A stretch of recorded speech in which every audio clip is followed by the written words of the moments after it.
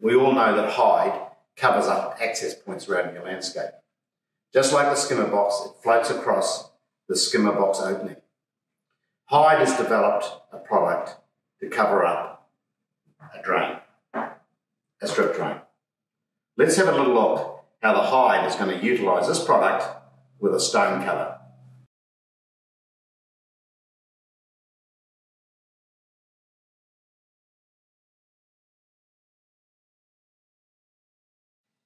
We're all familiar with this channel drain.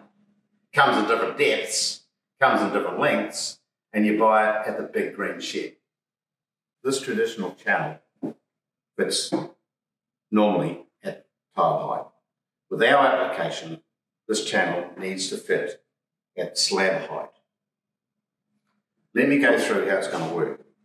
There's the hide inlay tray. We have five centralizing tabs through the top.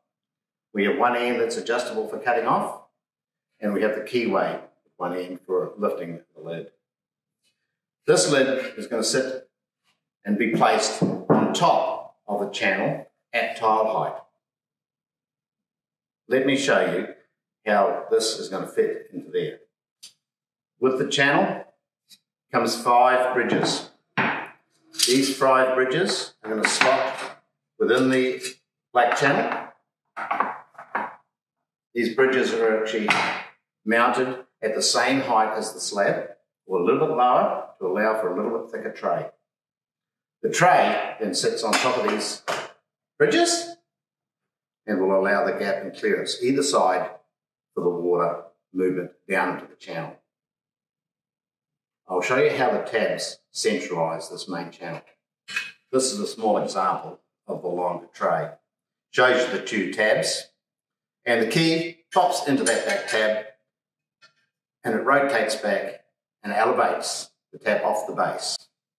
90 degrees, that 90 degrees tab then is going to engage into the bridge and secure the channel exactly in the centre of the channel, allowing water easement either side and drainage.